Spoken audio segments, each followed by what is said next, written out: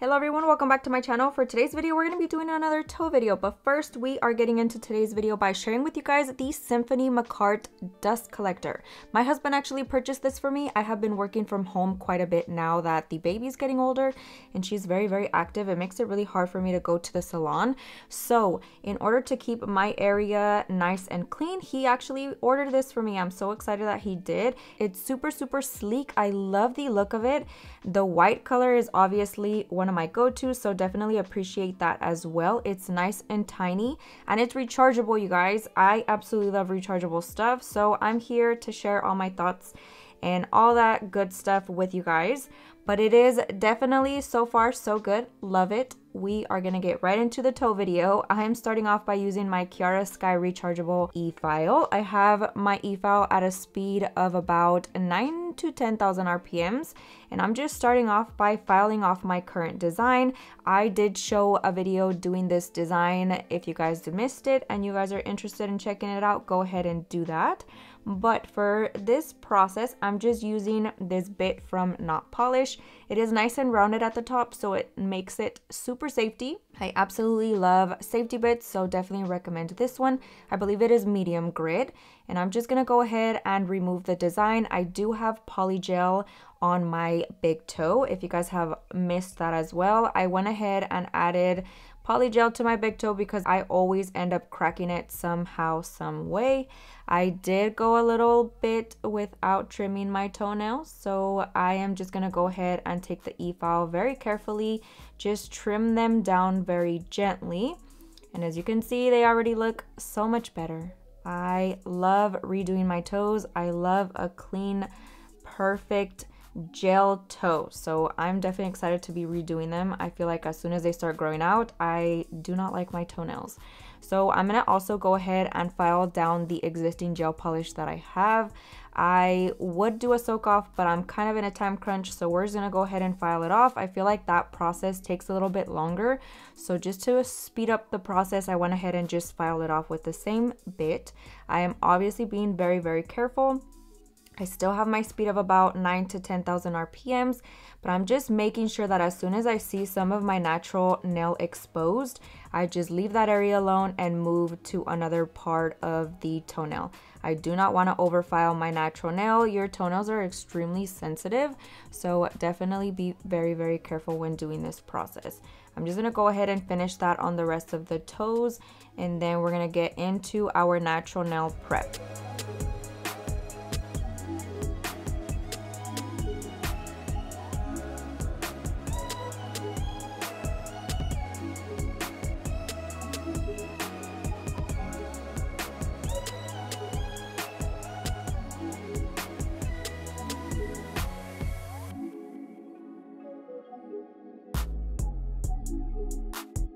Thank you.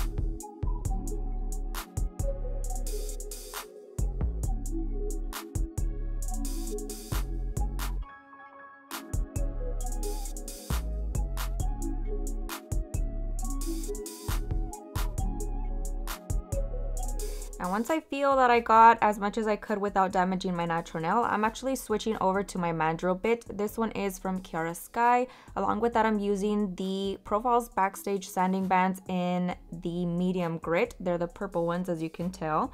And I'm just gonna start off by buffing off the shine from my natural toenail. And I am also just going around and making sure that I don't have any lifting on the polygel, which we were perfect on that. So I didn't have to do too much filing. Otherwise, I would go ahead and remove the lifting all in that same process.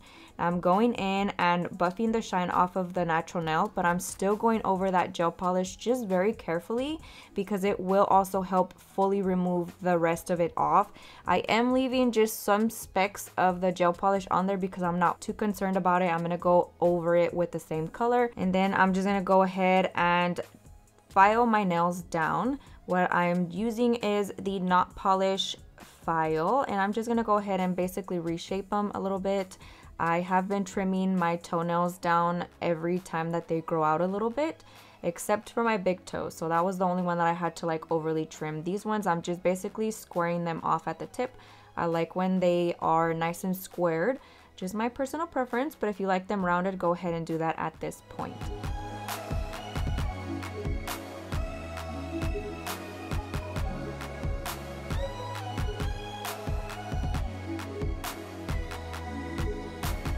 Now I don't have my needle bit here at my house, but I'm to be using this diamond bit. It's like a cone shape and I will leave that link down below. It's from Profiles Backstage, but I'm not quite sure the exact name of it. So I'm just going in and removing any excess dead skin from around that cuticle area and I'm actually going underneath my toenail as well just in case there's any type of anything under there I could go ahead and remove it at this point and I'm just gonna go in again on the rest of my toenails just gently filing around that cuticle area I'm going to go in with my cuticle ball bit, also from Profiles Backstage, and I'm just very carefully buffing off the dead skin and any little areas that I have that's kind of dry around the tip of my toenail. I go ahead and file that part as well because it's just going to buff it into like the super smooth skin that you want and it just makes everything look super, super clean. And if I didn't mention it earlier, I have my e-file at a speed of 4,000 RPMs for all of my natural nail prep. Now, because I am at my house, I'm using a paper towel and some alcohol. I feel like it serves the same purpose as my Young Nails swipe. So I'm just gonna go ahead and clean off the surface of my toenails and dehydrate the nail very so gently. I'm gonna be using this polygel applicator and brush from Makartt. It is from one of their kits and I love the color on it. Super, super cute. I'll leave that linked down below. And I'm also using the same kit's base gel for this application. I'm gonna go ahead and apply some on my big toe, cure that for a minute, and then we're gonna go in with the white polygel from Makartt, add some base gel to it, and then some to my brush. And I use that as my slip solution. I feel like it works the best from my personal opinion. I am able to flawlessly place it on there without getting it super sticky and it just works a lot better in my opinion. So if you're struggling with polygel, try the base coat. I've mentioned it before in my polygel videos, so hopefully that helps. I have become obsessed with this application process on my toes, so definitely recommend it if you guys are struggling. So I'm gonna go ahead and just start patting it in, pushing it up towards the cuticle area, and then I'm just patting it. I'm using a patting motion while also very, very gently just dragging it into the direction that I want it to go, working my way towards the tip of my toenail, and then I start blending it out. And then I did use uh, probably a little bit too much polygel. I definitely could have left it, but I like my toenails not to be super thick. So I'm just going to drag the product all the way down and then I'm gonna cut off the excess with the little spatula part of the polygel brush. And then once I removed that, I'm gonna go ahead and pat it in a little bit and then do it once more just to make sure that I fully removed any excess that I do not want. And then with the spatula part, I am going underneath my toenail as well, just in case some polygel went underneath.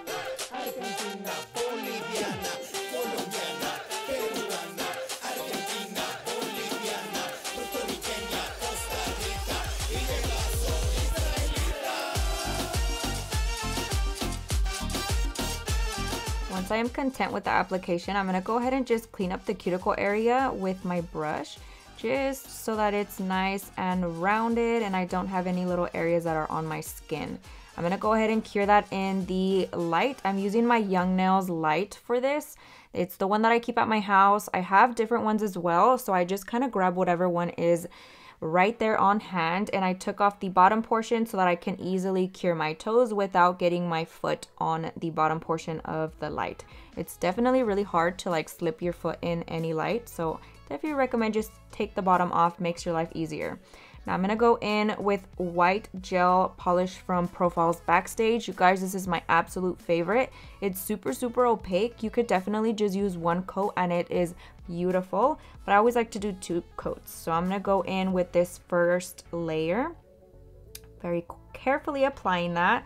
And of course, I had to have some spill and then I'm just gonna be placing that in the light for a full minute. It is very, very pigmented and very opaque, so you wanna make sure you are fully curing it in between layers.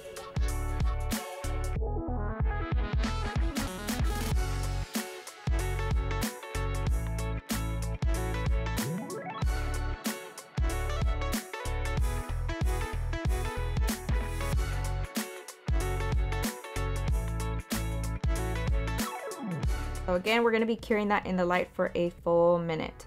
Now once it is out of the light and fully dry, I'm going in with my second layer. Basically the same thing, starting at the cuticle, bringing it down towards the tip.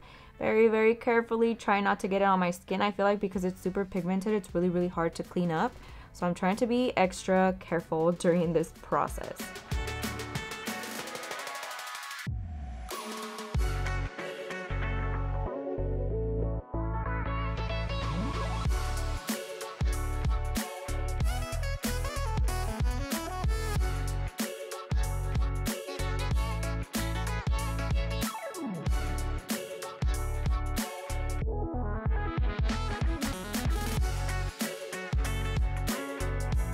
And then again, we're gonna cure once more and then we're gonna top coat those toenails. I realized that I had a little bit of spillage, so I just took my nail and kind of scraped at it to clean it up a little bit.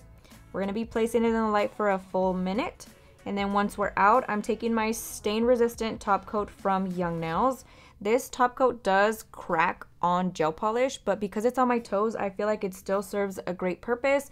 Even though it cracks, it doesn't affect my toenails at all whatsoever. They still don't get stained. You just get tiny little cracks. So do note that if you notice it i feel like it's completely normal this top coat is meant for acrylic extensions or builder gel extensions and it works really well on poly gel as well so do not think you're doing anything wrong it's just the product itself so then I ended up finding some lint-free wipes. So I went ahead and took that and used it with some alcohol once again, cleaned off the surface.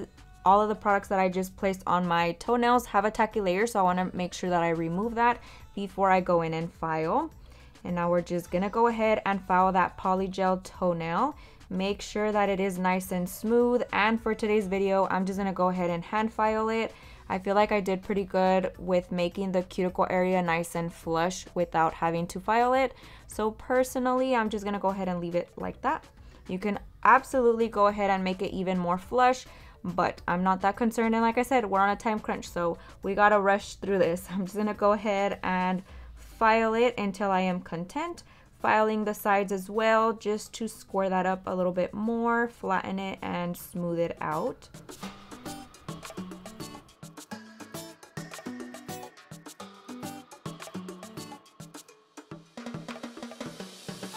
Now, if you ever notice that your gel polish application just messed up your shape, I would always recommend to go in with a hand file and just clean it up very carefully.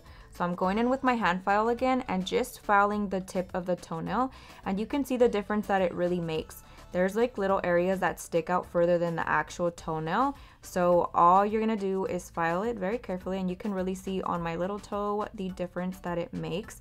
Always recommend that. And then we're gonna go in once again with some lint-free wipes and clean the surface of my toenails. And just look at that. I love a good white crisp toenail, but for the purpose of my videos, I feel like I need to change it up. And I have been trying to do some toe nail art for you guys. We're gonna be doing a very simple look, but super, super cute very beginner friendly. I'm going to be using these beautiful, stunning decals for this video. We're starting off with a big butterfly and then I'm going in with some Louis Vuitton little decals. I've been wanting to do like some sort of brand design. So here we are. Some Louis Vuitton it is. I basically, every time I'm doing like layered decals, I take forever. It honestly takes me a really long time because I like to make sure that everything is gonna look super flawless and just perfectly layered. So you're gonna see me throughout this entire process pick out a tiny decal and just kind of hover it over using my tweezers until I am content with how it would look. So that's a really cool part about using decals. You don't have to worry about drawing it on there and then not liking the position or where you applied it and have to remove it. I honestly would cry. So using decals just eliminates that fear. We're gonna go ahead and place it wherever we feel it looks good and that's why I kind of just hover it over the area until I am happy with how it's going to look. And I'm going to do that with all the other little decals that I'm placing on it. So the vision that I had was uh, black accents with some colors because it is summertime and we want some color in our life. And I decided to go with black, orange, and pink. That's always my go-to combo and then I'm taking another small butterfly again kind of hovering it over I wanted to change the position of it so we're just flipping and turning until I'm happy and then I go ahead and just press it in and you want to make sure that all of the little edges of the decal is fully pressed down and flush to your nail. Again, doing the same process over and over again until I am content with it. It. It's a process, you guys. I feel like I want it to look good, so I'm making sure that I'm not to regret it. These decals, once they are on your toenail, you have to file it off. It is not easy to remove it. And then for that one, I felt like it could have a little black accent right there. So I'm actually gonna press it in and then I'm gonna hold the part of the toenail and then I'm just gonna yank off the rest of it. As you can see, kind of just pulling it off and then I'm taking my buffer and buffing the tip just to make sure that there's no excess hanging off of the tip. And that's basically it. Make sure you press it all in very well. I'm taking my stain resistant top coat once again, making sure that I'm fully coating that toenail, curing it in the light, and then I'm going in with a second layer on this specific toenail because we have those decals and I wanna make sure that it is fully secured on my toenail and none of it is going to chip off. And of course, I'm just placing it in the light for a full minute in between layers. I can feel your presence, leaning on the change in my heart for your endeavors. I pray I'm your reflection, I fiend for your correction. The cross brought the connection in through Jesus' perfection. Like I went ahead and applied some at the tip of my toenail as well, just to make sure that that last little decal wasn't gonna chip off. I'm taking a lint-free wipe and a little bit more alcohol, cleaning that tacky layer off, I'm just going over all my other toes. We're adding my favorite Profiles Backstage Cuticle Oil. This is the one that I keep at my house, so do not worry. I do not put this on my client's hands. I'm going to go ahead and just rub it in. But that basically concludes today's video. Let me know what you guys think down below. Thank you guys so much for watching. I hope you guys enjoyed it. I hope you learned a ton. And I'll see you guys next time.